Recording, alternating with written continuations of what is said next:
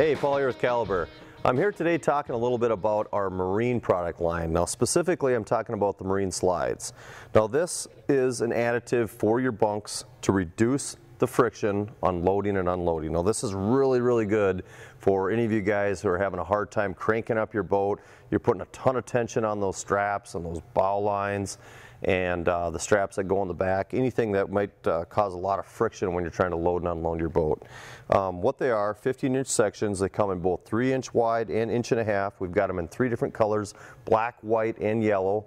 Um, remember also that if you've got 6 inch bunks were actually a little over 5 inches, you might want to marry the two together. So you can marry a 3 inch wide with an inch and a half. If you got a 2 by 4 bunk, 3 inch wide works great.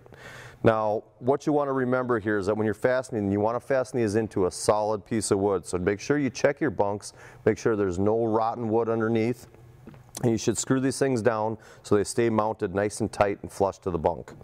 Now when they mount down, you know that uh, there's this recess here, as you can see, um, that's going to stay well below the surface so you don't have any concerns about hitting the actual screws on your marine slides.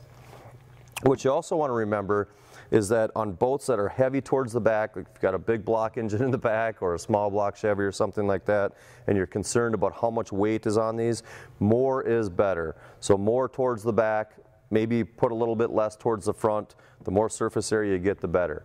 So keep in mind that if you've got carpeted bunks right now, these will mount right on top of the carpet or you can take the carpet off and mount them right onto the wood. But uh, remember that if you've got any concerns about rocks and debris, carpet is a great trap for rocks and that will scratch your, your hull as well.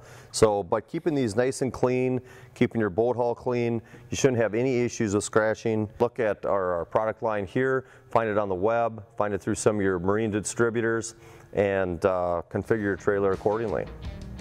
Thanks, and we'll see you out on the water. Be sure to like us on Facebook to stay connected with our new products, giveaways, and top riders.